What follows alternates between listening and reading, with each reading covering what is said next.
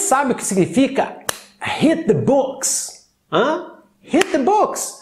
Hit the books significa estudar intensamente, com esforço concentrado. Então, vamos ver alguns exemplos. Listen and repeat. Se eu não estudar muito, eu vou reprovar naquela prova, vou ser reprovado naquela prova. If I don't hit the books, I will fail that test. If I don't hit the books, I will fail that test.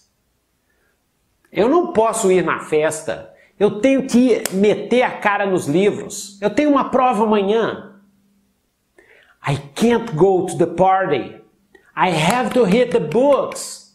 I have a test tomorrow. I can't go to the party. I have to hit the books. I have a test tomorrow. Eu queria ter estudado muito durante o ano inteiro. I wish I had hit the books during the whole year.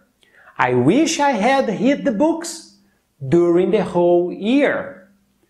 Excellent! Agora faça uma frase com Hit the Books aqui embaixo nos comentários e melhore seu inglês. E se você gostou da nossa dica de inglês de hoje, dê um like e se inscreva aqui no nosso canal Melhore seu inglês. Vídeos, dicas e aulas diárias de inglês para você aprender inglês sozinho muito rápido. Nós também transmitimos aulas ao vivo na nossa conta no Instagram, nas sextas e sábados à noite. Participe dos nossos lives.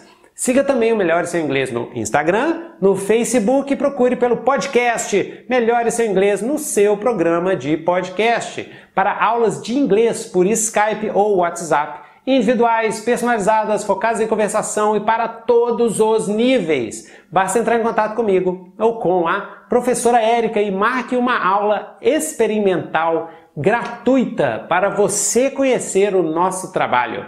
Fica aqui um grande abraço and see you next class. Keep studying English. Hit the books.